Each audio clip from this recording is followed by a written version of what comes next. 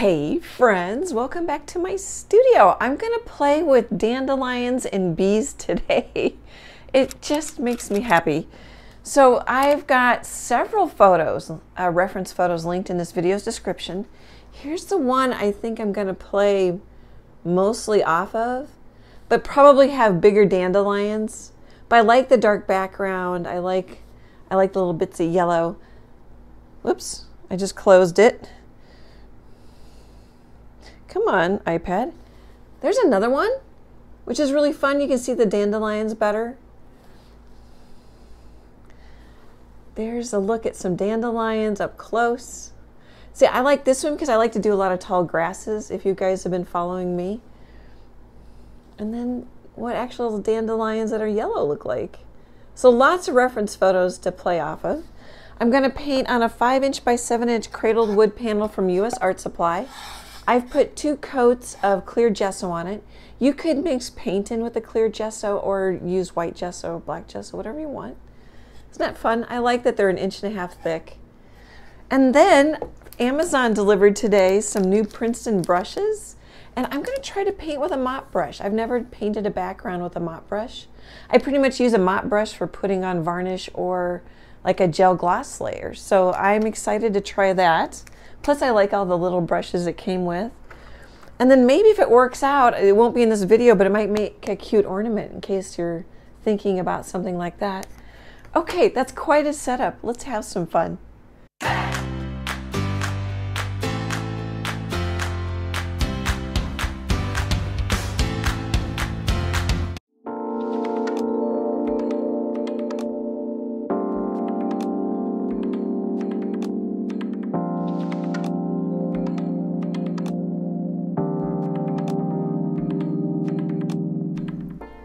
You guys, I already messed up. I was so excited to start. So normally I would take a piece of chalk pastel and write the word love on it because I just like doing that. But I, I totally forgot. So this was fun. Um, um, it's like a big filbert. That's why I'm doing this. But it's also softer. It has a lot more here. Let's find. Oh, gosh. Oh, this is Royal and Langnickel. This one's Princeton. But this is stiffer. You can't feel it. I don't know if you can see it because this is wet. This has a little more flop. But what I liked is it it will it'll hold more paint, which might be helpful, especially on a little bit bigger canvas. And I think it's a little softer. But I need to use it some more to figure it out. Uh, this is a three quarter inch mop brush from Princeton Select. Oh, it says oval mop. If I get it close, maybe you guys can see it. It'll focus. So I really like that. Um, my, let's set the table. My colors are Mars Black. They're all going to be Liquitex. Titanium White. Uh, Phthalo Blue. Oh no, Cad Yellow. I need to put out some more Cad Yellow. I buy it in a jar of the bigger tubes quite a bit because I go through a lot more yellow. It usually takes more yellow than the other color to mix because it's not as uh, strong of a pigment. That's a mix. I put out some quinacridone magenta. I probably should have waited because I, I will maybe only need it for some oranges for both some dandelions and the bees. But I put out quinacridone magenta. And phthalo, oh here, let's grab the other. I've got a new one. Phthalo blue green shade. Use any blue you have. I like phthalo blue. Um, you can use an ultramarine, whatever you have, cobalt. And I think that's pretty much it. I drew a line, oh, about two and a quarter down with a small T-square and painted. I really like how simple this is. Kind of get a hint of dark green, something off in the background. This could be a little dandelion or just could be overthinking it. A lot of times it gets cooler as you go back, but I think we'll be fine. Here, where's our reference photo? This one kind of does. There's almost like a little cooler green and a dip in there, but I think we're totally fine. What else? I think that sets the table. I dried it with a hair dryer. I'm not sure exactly where I'm going to go. I think next I'm going to, here, we could do a little bit of this. Oh, I'm also kind of excited to play with some Deerfoot stipplers. I'm thinking I used these when I did the, the hen and the dandelion painting I not too long ago, maybe a month ago. I'll link it in this video's description. So these are Artist Loft Deerfoot stipplers. This one's a 3 8 3 eighths inch and this one's a quarter inch. I'm laughing because I'm so excited I can't talk. You could use anything. You could use any brush. You just I'm just going to stamp with them. You could probably use a small makeup brush. Actually, maybe I did that. That would make great dandelions too. Okay, so maybe we'll just draw on a couple. Actually, it might be kind of fun. So this is sort of on a third. I ended up pulling the light over, but I like to do things on the third. So maybe we'll have a, like a puff right there.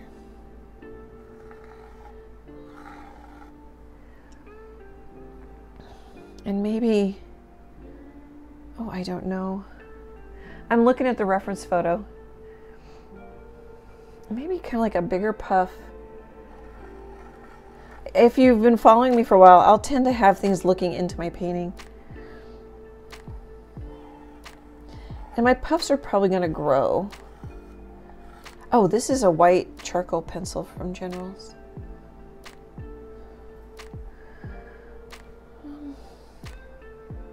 I think I'll think about this off camera so I don't feel like I have to entertain you.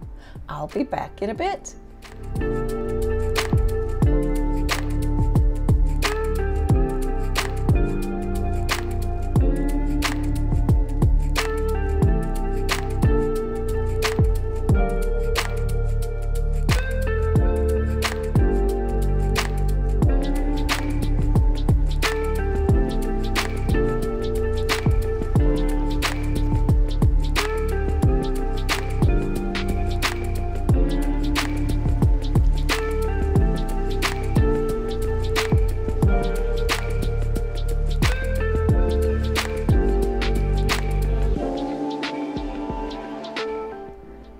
Just popping in for a second here.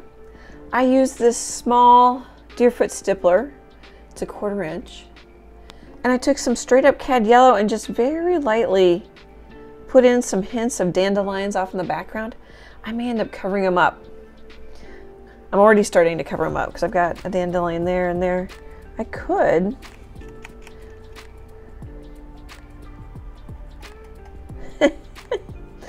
Nothing came off hardly. I don't know. If, oh, actually, it was this color.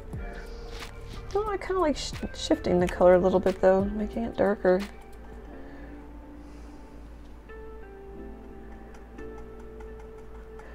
I think I'll just, I'm going to stop because I could just totally overdo this. Um, I also use this Deerfoot stippler. So I've got kind of a light green, greenish color there. And I'm putting in hints of puffed dandelions. So one there, one there, one there, one there, one there. I started putting in some stems because they go underneath the dandelion puffs. But I think I'm going to start... I, well, I, oh, and then I'm also, I used for the stems this quarter inch flat brush from Royal and Langnickel. I've worn off the name. And I, I'm going to put in some weeds too. I could start putting in either the dandelions Maybe I'll just start putting in a couple. They're all dandelions, but some of the the ones that are flowered but not gone to seed yet. So I use this uh, yellow with a little bit of white because it'll cover better. And then I can come back with a different value. I kind of like that, just kind of leave it a little messy. This one I was thinking was going up.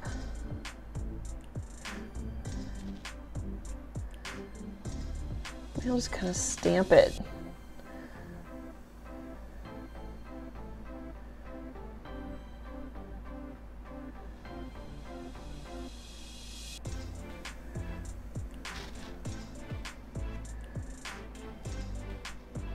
Oh, I've got one here and here. I was thinking I only had three. I've got four. I think that's fine. I can always add in another one. I like to do odds. Oops, that was fat.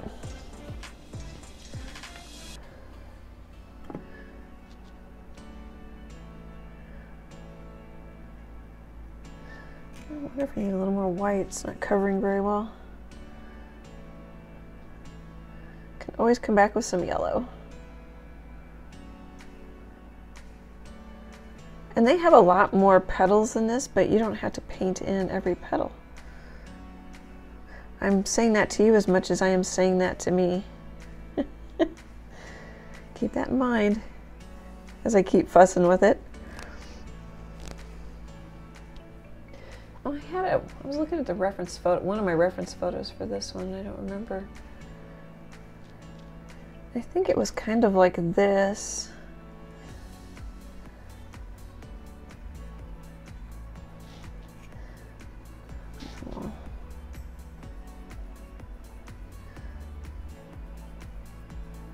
I don't know if that's really going to show. It's so relaxing just to kind of swipe.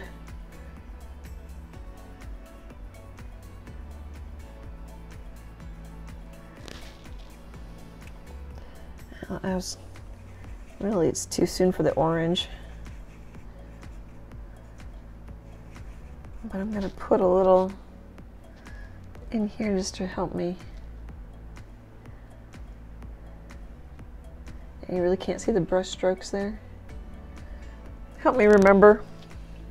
And now I've got orange in my brush, we could put a little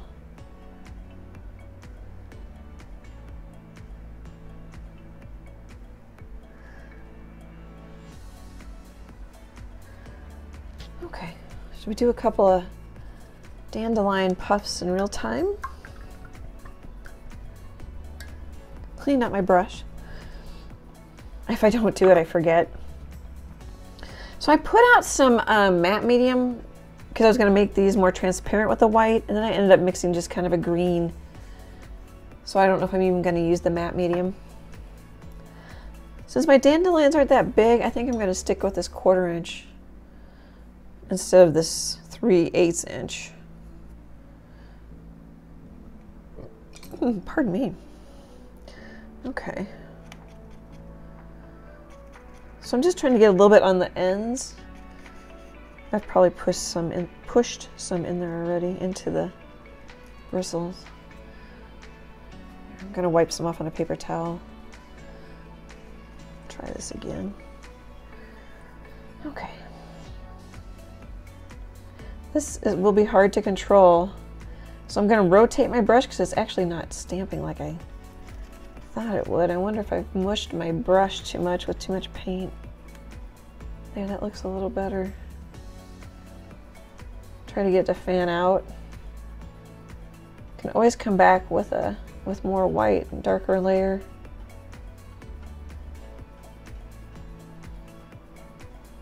Just kind of pouncing. Here. See if I can get my brush straight up and not hit my phone.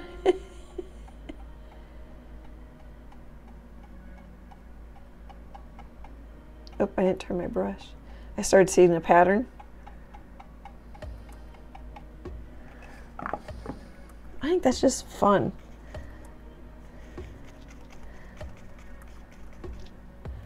I think I've got my, I keep thinking more paint's gonna help me.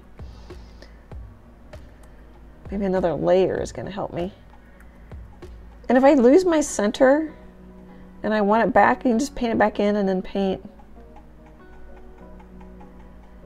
Paint another puff. Just dip a few bristles in it and you can add even wider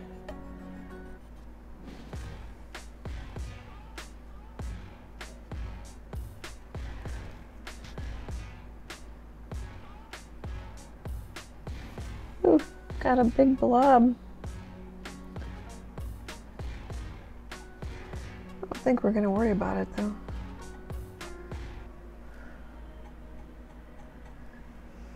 Okay, that's the gist of it.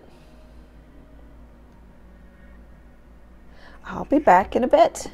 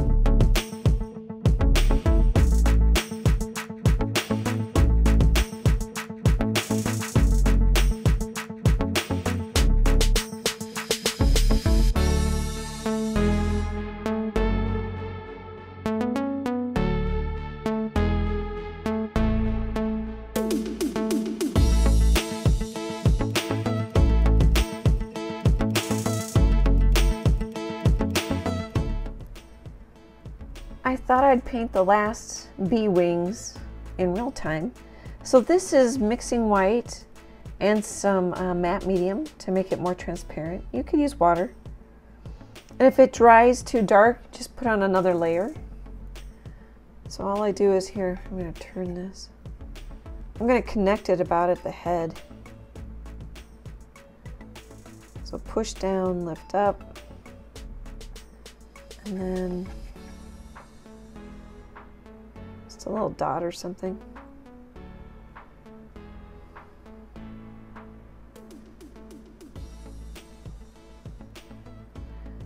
I'm already making these a little brighter white. this is fun. I used a um, half inch flat brush to get a couple bigger petals. There's one right there, there, and then there's one behind my signature. I could even use some more bigger petals, I think.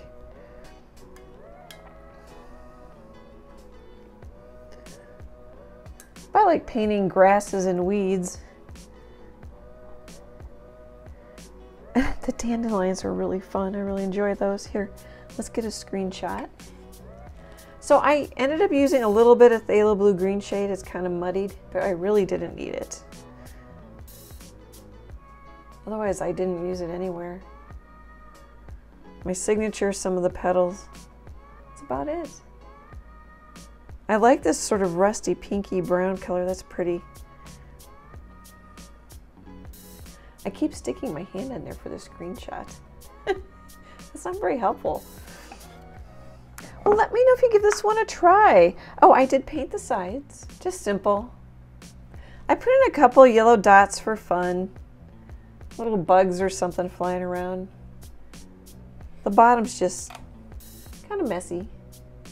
Really nothing on the top. I added some black here thinking it'd help the bees pop out more. I don't know if that works or not. I need to photograph it. Kind of, I need to look at it tomorrow. I've been looking at it for quite a while. Let's see, I started it about 2.30, worked on it, we'll say for an hour, hour and 15 minutes, and then I started again after dinner. Oh gosh, I might, this might be a three hour painting. looking at my watch.